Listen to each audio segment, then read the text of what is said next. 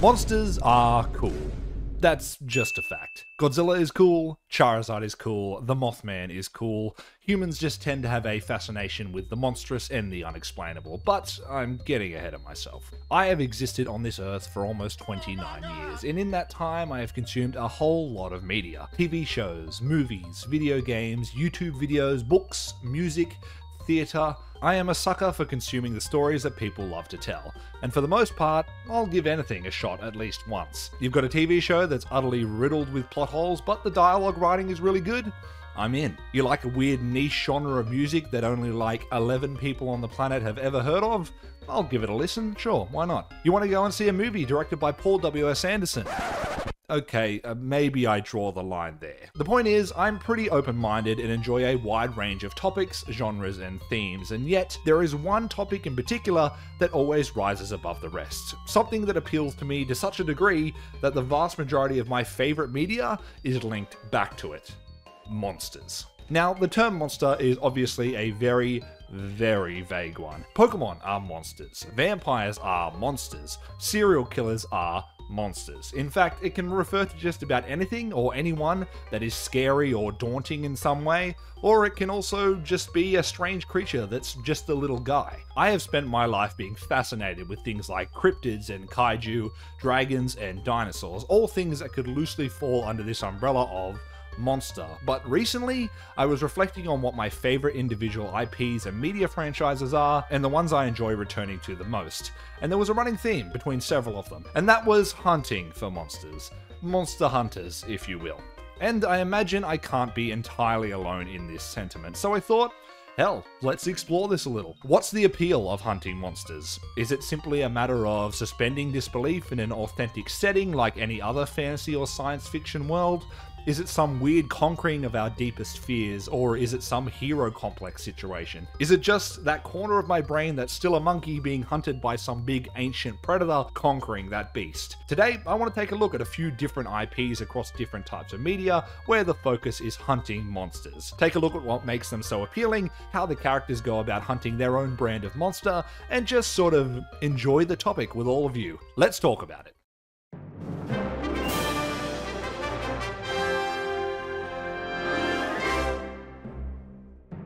So, what media am I talking about exactly? Well, there's several that stand front and center as my favorite media around. The most obvious one for those that follow this channel, and the best to ever do it in my opinion, is of course Monster Hunter. It's right there in the title. What do you do in that game? You'll hear them ask, a smirk curled across their face as they fancy themselves a world-class comedian in that moment. Monster Hunter takes a very direct approach to the topic. The monsters here are quite literally large ferocious beasts that inhabit the world alongside your character, and it's your job to head out into the wilderness and hunt them down. Now, there's obviously a lot of little things that make me love Monster Hunter. The setting, though broadly fantasy, is unique to the series. The weapons and armor are, for the most part, visually stunning, along with the environment, and the gameplay is top notch. But let's not kid ourselves. The best part of Monster Hunter is the monsters. Looking for a dinosaur that punches you so hard you explode? Brachydios has you covered. Fancy a T-Rex, tiger, dragon hybrid? Go for it. Here's a Tigrex. You want a giant squid covered in bones? Here's a Nakarkos. Have at it, champ. These things are, for all intents and purposes, well and truly out of your league. They would be entirely impossible for you to fight in real life without some form of heavy ordnance. Even things like Great Jagras would make quick work of you, and if you don't believe me, go and fight a crocodile or a bear or a tiger or something in hand-to-hand -hand combat and see how you're feeling afterwards. And there it is, we're scratching the surface of the appeal already. As I said, the way the hunter goes about taking down the monsters here is very direct, it's very brute force. They are incredibly skilled individuals in the context of the game, but they are freaks of nature, infinitely strong and durable and immune to the effects of gravity. That's the fantasy of it. There's certainly a large range of weapons to choose from, some more elegant than others, but the premise is simple. Track a monster, engage a monster, slay a monster, and the means of slaying that monster is by using a very large weapon. No magic or anything of the sort, just duck, dive, and dodge around and take it down. It's a power trip. For all intents and purposes, each weapon in Monster Hunter is far too large to wield in the way that the hunters do, and yet they can. In fact, they use them so effectively that they can take down creatures they have no business even being in the vicinity of. It's a very rich and immersive world, but a power fantasy through and through.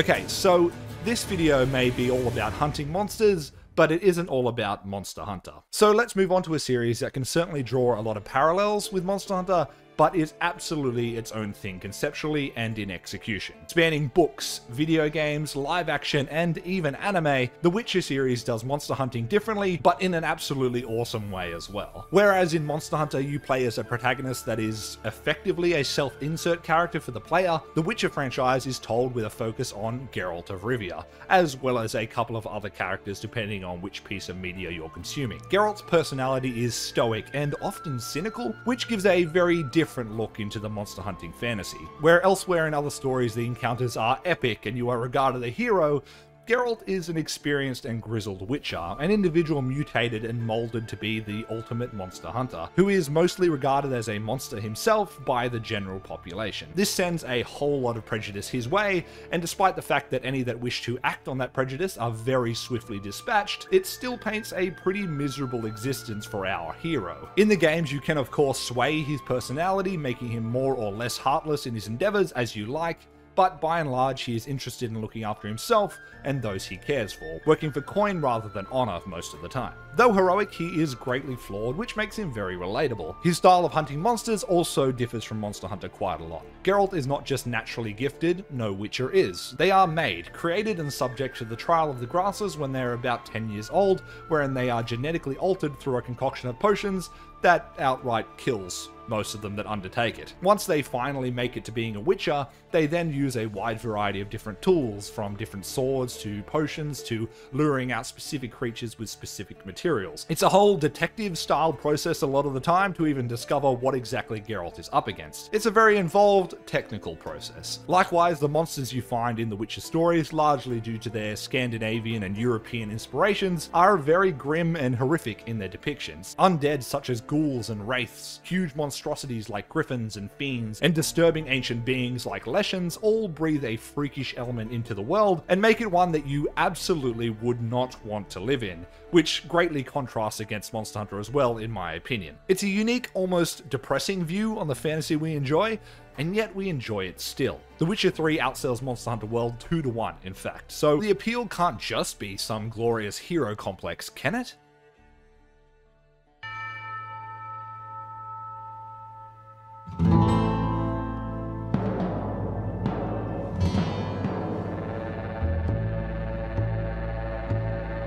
The final video game example I want to touch on before moving on to some other media is not even a game about hunting monsters, but there's a specific part of this game, potentially untouched by many, that I enjoy a lot and falls into our vague monster hunting category for today's video. And that is the legendary animal hunts in Red Dead Redemption 2, and also some of the stuff in one of the best video game DLC packs ever made, Undead Nightmare. I think this gives a taste of how far the fantasy of hunting monsters can extend. With regards to Red Dead 2, there are a total of 16 legendary animals across the game's map that can be hunted down and killed for rare materials. And this particular iteration of today's theme is probably the most realistic because, well, there's not really anything supernatural or fantasy about it. Back in the Wild West, I imagine a particularly large and cantankerous bear that had a tendency to, I don't know, tear through campsites and carriages would be considered a monster. It's not outlandish in any way, and whilst that lack of fantasy means that it's not exactly what I'm looking for in my Monster Hunter fantasy, it certainly shouldn't be overlooked. And if you do want some fantastical monster elements in your silly cowboy game, do yourself a favor and go and play Undead Nightmare.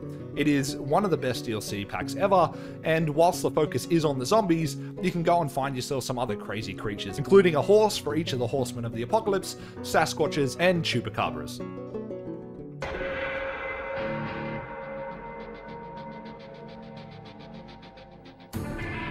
Okay, moving on from video games, let's talk about a couple of shows. Starting with one that is probably my favorite show ever. Is it the best show ever? No, absolutely not. Not at all. It's repetitive, it's predictable, its story is cyclical as all hell, but I love it nonetheless.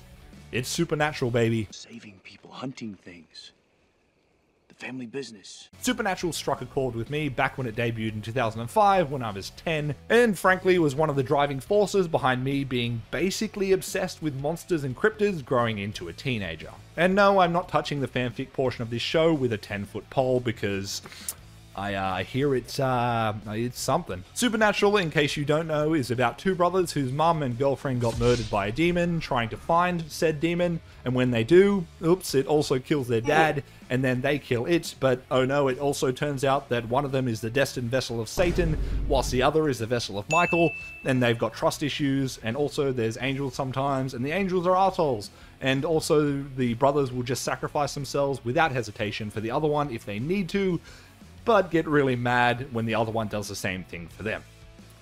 Uh, spoilers for like the first six seasons of Supernatural, I guess. Just the whole series, really. Sam and Dean are an interesting duo because they are simultaneously the best hunters ever, whilst being grossly incompetent at their job and deeply flawed at every single turn. One of them almost always ends up in a position where they need to be saved by the other one. It's a formula that works, I suppose. When I said the story was cyclical, I wasn't joking. Each season tends to boil down to, oh, you sacrificed your soul at the end of the last season.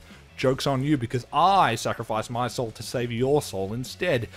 But I'm getting sidetracked. That is beside the points for today's video. What we're looking at here is the monster hunting aspect. Now, monsters in the context of Supernatural are pretty much modern takes on some of the classics. We're working with ghosts, vampires, demons, shapeshifters, and the like. The setting of Supernatural is modern day USA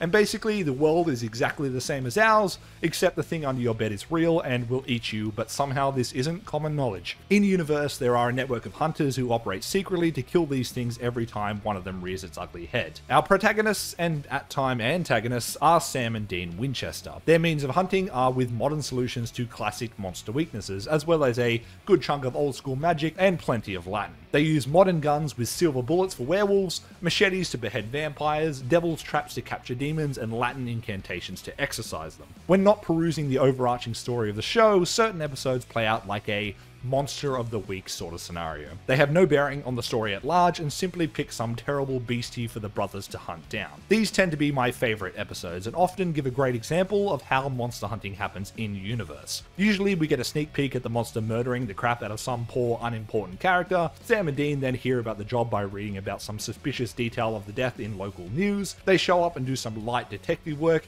to determine what the monster is, and then they gear up to take it down. Dean, as well as most other hunters in the show, has a hidden compartment in his car that stores a small arsenal of all kinds of weapons for the job. And who can forget Bobby? Bobby, for all intents and purposes, is the handler of Supernatural. He's the guy who tips them off to new jobs, equips them with the knowledge they need to take down some new big evil creature.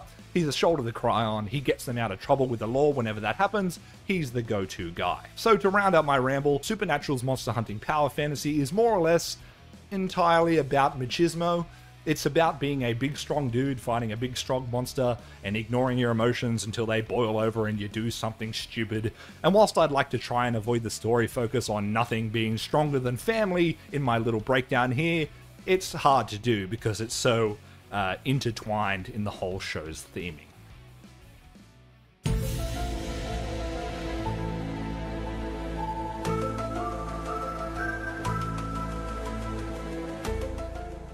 Another show that takes a slightly different but no less campy approach is X Files. Perhaps the peak of 90s television, X Files is undoubtedly an enormous influence for Supernatural and just nerd culture in general. And whilst it deals far less with the biblical Armageddon and far more with science fiction, it's one of the most prime examples of a creature feature monster of the week TV shows out there. Rather than following two brothers, X Files follows two FBI agents. Fox Mulder and Dana Scully, one a believer in the supernatural and aliens, and the other a skeptic, as they go gallivanting across, yep, the United States of America, baby. Seeking uh, the truth. X Files is much less explicitly about hunting monsters as it is finding them and trying to figure out what their deal is. They absolutely will shoot things if said things are aggressive, but Mulder and Scully are no better suited to slay a beastie than any other FBI agent is, I would say. The monsters they deal with also tend to be either aliens or some form of extraordinary mutant humans, such as Eugene Tooms, who could stretch and squish his body into small spaces to get into people's houses and eat their liver, or the pure nightmare fuel that is the Fluke Man, a half human, half fluke worm creature living in the sewers of New Jersey. All in all, not so much about hunting monsters, but along a very similar vibe and one of my personal favourites.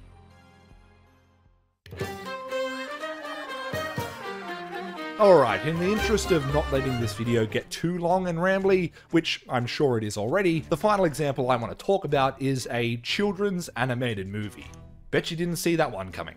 Now, before I go through this, do yourself a favor and go and watch The Sea Beast before I spoil it here because it's a banger of a film. And if you need convincing, Karl Urban voices the main character, that's all you gotta know. The Sea Beast is a film from 2022 with some very cool world building and narrative beats that make for a super engaging monster hunting world. The premise is straightforward, and I'll just quote the wiki here because it sets it out pretty effectively. For centuries, sea beasts have surfaced to wreak havoc against humankind. In response, crews of hunters venture outwards on their ships to hunt the beasts down, the most famous and successful being the crew of the Inevitable, led by the legendary Captain Crow, his first mate Sarah Sharp, and his adopted son and boatswain Jacob Holland. The hunters are supported by the King and Queen of the Crown by means of the Three Bridges Society as a result of the hunters' success over the centuries. So yeah, this is a world where gigantic monsters roam the seas and crews of pirates set out upon the waves to take them down. The setting and aesthetic of it is all really cool, leaning into the pirate vibes quite a lot. Now, granted, the story of the movie is focused on maybe these creatures have been unfairly demonized and hunting isn't so great after all, and the mentor of the protagonist ends up being more of an antagonist um, which which fits it being a kids movie and, and, gives us the classic trope of hey this giant creature is actually totally chill and nice and a friend but you can't deny that it's some awesome world building. The means of hunting the monsters appears to be that ships in universe are equipped with specialized tools and weaponry to deal with these huge creatures and the hunters on board are also just really good at not being killed in the process, with the captain left to make the killing blow and take the trophy that will prove the hunt was successful upon returning to shore. It's cool, man. Good movie, man. Not for those with thalassophobia, though. There's this one scene that is just completely horrifying. These are not the only examples of monster hunting media out there by any means, just some of my personal favourites. You've got multiple other video games alone that explore these ideas. Things like Wild Hearts, which was great conceptually and a lot of fun, it was just kneecapped by being handled badly, optimized poorly, and not given the support it needed. Dauntless, which takes monster hunting into a more MMO style game and is worth checking out, honestly. And God Eater, which I admittedly don't know much about, but I hear it's quite similar, just a lot more anime. You've got book series like The Dresden Files, movies like Troll Hunter, you can play as a Monster Hunter Ranger in D&D, hell, even things like Attack on Titan can probably scratch the itch for some folks. The point is that this is a big draw for me, a narrative beat that goes a long way to hook me into a fantasy or not so fantasy world. There's absolutely a time and a place for a story of intrigue and espionage, deep character moments with extensive monologues, law and order and all that jazz, but when the adversary is just a big ugly monster and the protagonist is checking some notebook like a Pokedex as they prepare to go and hunt it down, it will always be a recipe for success in my mind. And even when it's not, there's going to be a base level enjoyment for me. And to answer my question at the start of the video, what exactly is the appeal of hunting monsters? Well, with so many examples throughout different forms of media, I'm sure the appeal changes for every person. All in all, it's a little bit of everything. I think there's a certain element of researching or investigating a strange occurrence that intrigues me, and the result of that investigation not just being some boring old crazy person is just the outcome that I need. There's something primal, something human about the feeling of taking down something where the odds are stacked against you. And well, it's as simple as this. Monsters are cool, that's just a fact. Thanks for watching this video, guys. I hope you enjoyed it. Let me know some of your favorite monster hunting media in the comments down below. Don't forget to like the video, folks, and why not share it with a friend if you think they'll like it too. That's all for this video. I'll catch you on the next one. Thanks for watching.